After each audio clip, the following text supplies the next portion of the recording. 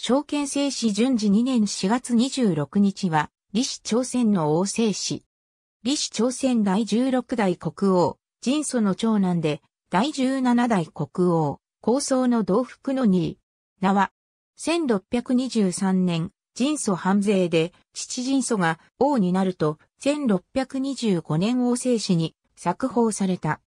1637年、日のエネの乱が朝鮮の降伏により終結すると、約定に従い、人質として信用に赴くこととなる。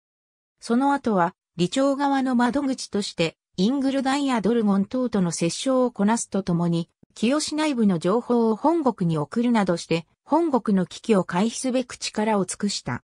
その後、低明治から強要され、秋人や買い戻した朝鮮人捕虜を刺激しての新国内での経済活動を開始するが、1643年にこのことが朝鮮国内に発覚すると、人祖との関係が急速に悪化。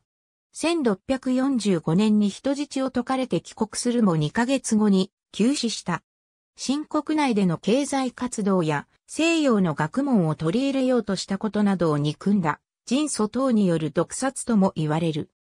人祖実録にある、証券生死の病状は毒殺のそれであり、通常なら着流を重視し、証券生死の子が生死となるはずだが、弟の法輪大君が生死に指名されていること、後に証券生死の廃着を主張していた金字典の告発により、妻の教師が人相を呪ったとして死を賜っていること、それに伴い、証券生死の子がすべてチェジュ島に流されていること等が、毒殺説の根拠となっている。